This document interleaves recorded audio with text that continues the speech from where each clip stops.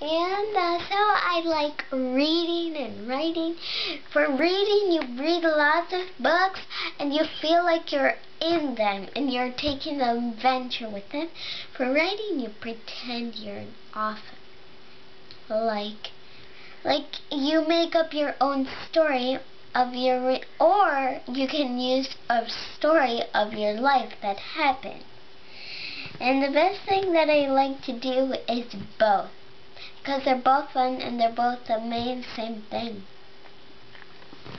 That's why I like books. I have many books. See, look. This one. This one. And this one, that's a pretty long one. Okay. Thanks.